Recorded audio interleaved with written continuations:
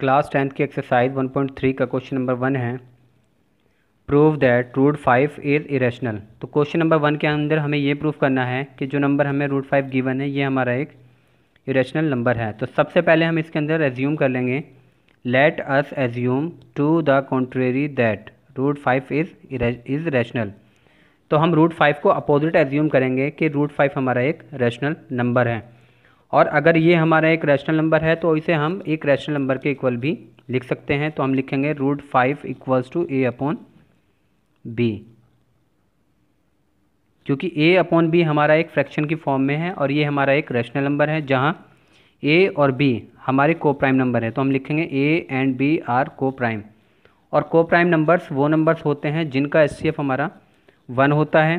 और rational number के अंदर जो हमारा डिनोमीटर पार्ट होता है, यानी कि B not equals to zero B equal B की प्लेस पर हमें हमारा ज़ीरो नहीं होना चाहिए।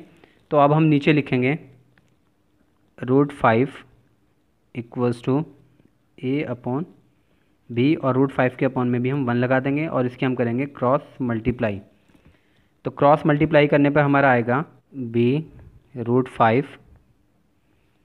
equals to A और अब हम दोनों साइड के स्क्वायर करेंगे। Squaring both side. तो दोनों साइड का स्क्वायर करेंगे तो हम, ये हो जाएगा बी रूट फाइव का स्क्वायर इक्वल्स टू ए का स्क्वायर। और अब हम इनके स्क्वायर्स ओपन करेंगे तो बी का स्क्वायर अगर हम करेंगे तो ये हो जाएगा बी स्क्वायर और अगर हम रूट फाइव का स्क्वायर करेंगे तो रूट फाइव का जब हम स्क्वायर करेंगे तो रूट तो हमारा ख़त्म हो जाएगा। और जो रूट के अंदर हमें नंबर गिवन है, वो एज रह जाएगा, ये हो जाएगा फाइव और ये हो जाएगा ए स्क्वायर इसे हम फ़र्स्ट मान लेंगे।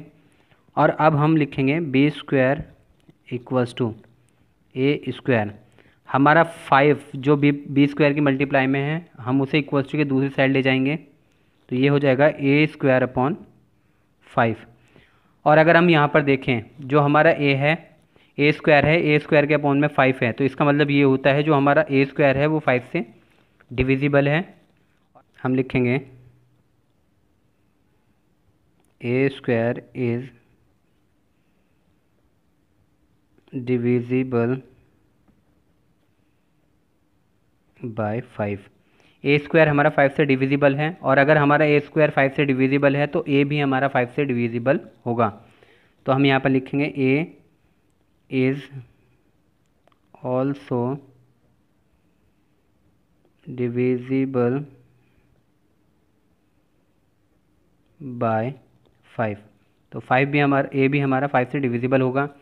तो अब हम यहाँ पर लेट करेंगे A equals to five C जहाँ पर सी हमारा कोई इंटीजर है तो हम लिखेंगे सी इज़ एनी इंटीजर तो सी हमारा कोई इंटीजर होगा, और अब हम ए की वैल्यू इक्वेशन नंबर फ़र्स्ट में पुट करेंगे तो हम यहाँ पर लिखेंगे on putting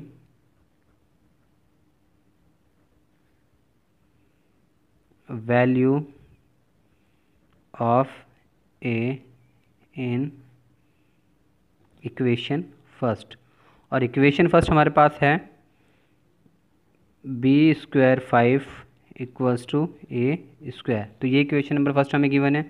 तो हम यहाँ पर लिखेंगे B square five equals to तो हम ए की, जो ए की जो वैल्यू है, उसे ए ए स्क्वायर के अंदर पुट करेंगे तो ये हो जाएगा फाइव सी का स्क्वायर तो ये हो जाएगा B square five equals to five five जा ट्वेंटी फाइव सी स्क्वायर और अगर हम यहाँ पर देखें फाइव वन जा फाइव फाइव फाइव जा ट्वेंटी फाइव तो ये हमारा फाइव टाइम कट हो जाएगा।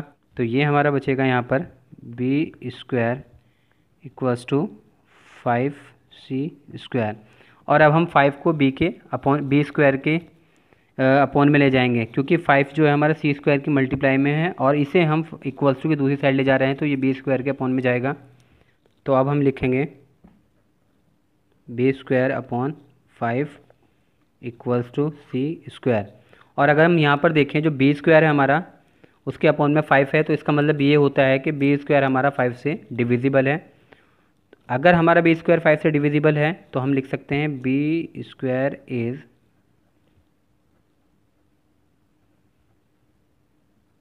divisible by five और अगर हमारा बी स्क्वायर फाइव से डिविजिबल है तो हमारा बी भी फाइव से डिविजिबल होगा। तो हम यहाँ पर लिखेंगे B is also divisible by five तो बी भी हमारा फाइव से डिविजिबल होगा। अब हम यहाँ पर लिखेंगे by first and second by first and second तो अब हम यहाँ पर देखेंगे, जो हमारा ए स्क्वायर है, वो फाइव से डिविजिबल है। यानी कि ए स्क्वायर का हमारा फैक्टर फाइव है। अगर ए स्क्वायर का फैक्टर हमारा फाइव है तो ए का फैक्टर भी हमारा फाइव ही होगा। बी स्क्वायर का फैक्टर भी फाइव है। यानी बी स्क्वायर का फैक्टर हमारा फाइव है, और अगर बी स्क्वायर का फैक्टर हमारा फाइव है तो बी का फैक्टर भी हमारा फाइव ही होगा। लेकिन ए और बी के हमारे फैक्टर वन था, क्योंकि ये हमारा ये हमारे कोप्राइम नंबर्स हैं। तो ये एक कॉन्ट्राडिक्शन है, क्योंकि हमारे ए और बी के फैक्टर्स जो थे वो वन थे, लेकिन हमने जो यहाँ पर सॉल्यूशन किया, उसके अंदर हमारे फैक्टर फाइव आए ए और बी के। तो ये क्या है? ये एक हमारा कॉन्ट्रडिक्शन है। और ये कॉन्ट्रडिक्शन किस वजह से है? हमारे रॉन्ग एजम्पन की वजह से। जो हमने एजम्पन किया था, वो हमारा रॉन्ग एजम्पन था। तो हम उसे लिखेंगे A and B having common factor five A और बी के कॉमन फैक्टर हमारे फाइव आए हैं। और ये कॉन्ट्रडिक्शन है तो इसे हम लिखेंगे। This contradiction is arisen because of our incorrect assumption. तो ये जो हमारा कॉन्ट्राडिक्शन या विरोधाभास निकल कर आया है, ये हमारा रॉन्ग एजम्पन की वजह से है। तो हम कह सकते हैं, जो हमारा रूट फाइव है, वो एक इरेशनल नंबर है। Root five is an irrational number. यही हमें प्रूफ करना था कि रूट फाइव हमारा एक इरेशनल नंबर है।